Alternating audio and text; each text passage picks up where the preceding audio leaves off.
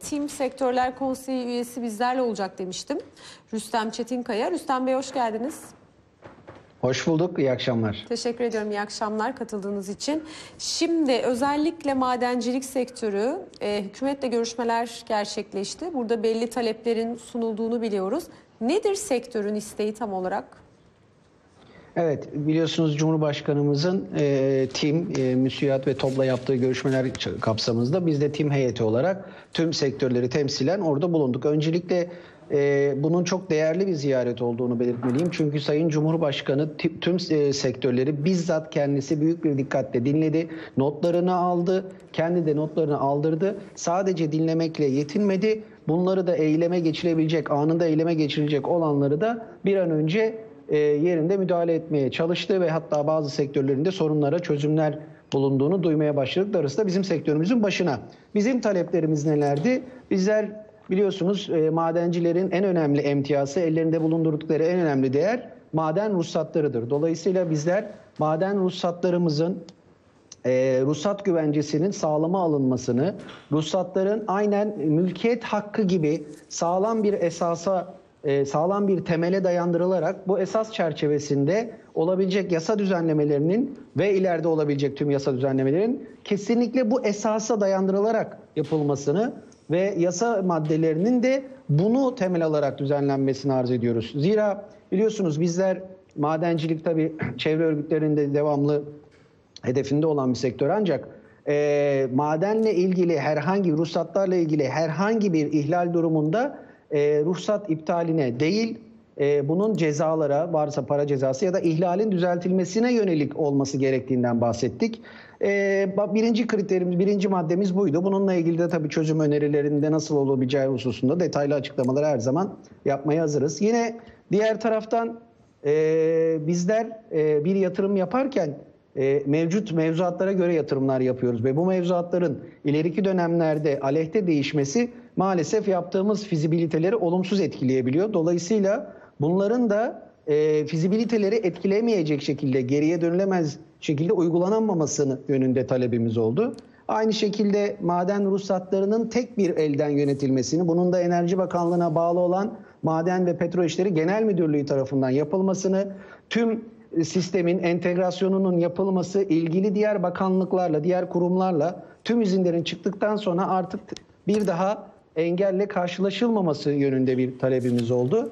Yine son olarak da e, ruhsat izinlerinin şu anda uzun sürelere dayanan 2-3 seneyi bulan ruhsat izinleri süreçlerinin de hızlandırılması eğer mümkünse bu konuda da kendine bilgilerimizi arz ettik. Sayın Cumhurbaşkanımız da zaten milli enerji ve milli maden politikasının altını tekrar çizdi ve bu hususta da bizim sektörümüze de ağır görevler düşüyor. Ee, bizler daha fazla milli madenlerimizi geliştirmek için bu alanda daha fazla yatırım yapmalıyız. Ee, sanırım e, bu taleplerimize pozitif dönüş, dönüşler alacağımıza inanıyorum ben. Rüstem Bey peki büyüme rakamlarını karşıladık. İhracat tarafındaki seyri nasıl değerlendiriyorsunuz? Biz özellikle Mart aylarında sizlerle konuşurken maden sektöründe ciddi anlamda ihracattaki yavaşlamayı konuşuyorduk. Özellikle Çin ağırlıklı Doğru. olduğu için. Şu anki mevcut durum nedir? Özellikle hani Çin'den şu anda vaka sayısı biliyorsunuz alamıyoruz. Ee, yani Alalım. işlerin orada iyi gittiği düşünülüyor. E, büyüme rakamları ya da işte verilerden okuduğumuz kadarıyla. Sizdeki durum nedir? Şöyle Mart ayında Çin'e yapılan bizim biliyorsunuz sezon açılışımız Mart ayıydı. Yani Ocak, Şubat, Mart ayı bizim düşük sezonumuzdu. Dolayısıyla ilk Covid vakaları duyulmaya başladığında yani pandemi haline gelmeden önce bizler Mart ayını bekliyorduk. Ve Nisan ayının başında sezonun açılmasıyla birlikte de zaten artık dünyaya yayılmıştı. Ve o anlamda ilk etapta eksi %60'lara varan bir ihracat performansında düşüşler e, e, yaşadık. Çok ciddi rakamlardı bunlar. Birçok maden ocağı faaliyetlerine ara vermek zorunda kaldı. E, çünkü Çin'de gerçekten iletişim dahi sağlamakta zorlanıyorduk. Fakat devamında özellikle Haziran ayından sonraki dönemde yavaş yavaş Çin'de de e, imalat sanayi harekete geçti. Oradan da yavaş yavaş siparişler gelmeye başladı. Fakat tabii o ilk dönemdeki %60'lık rakamlar bugün 10 ay sonuna geldiğimizde maalesef hala eksi 26'ların altına doğal taş sektörü üzerinde bahsediyorum orada. Eksi 26'ların altına maalesef inemedi. Toplam diğer maden ürünlerinde yani endüstriyel mineraller, metalik madenlerde ise eksi 9'larda. Kaldı ki bizim e, maden ihracatımızın çok önemli bir kısmı %35-40'a yakını da birinci sırada Çin geliyor. Biliyorsunuz biz Çin'den ithalat değil ihracat yapan bir sektörüz. Dolayısıyla Çin'deki bu gerileme maalesef e, ilerleyen aylarda bir şekilde toparlasak da mesela Ekim ayında dahi %6,5'luk bir artışımız var. Aylık bazı özellikle Ağustos, Eylül, Ek- Ekim aylarında bir artış sağladık. Fakat bu e, pandeminin ilk dönemindeki özellikle ikinci çeyrekteki o gerilemeyi henüz bertaraf etmemize imkan sağlamadı. Şu anda da sağlayabilecek gibi gözükmüyoruz. İleride ne olacak diye sordunuz e, yanlış hatırlamıyorsam.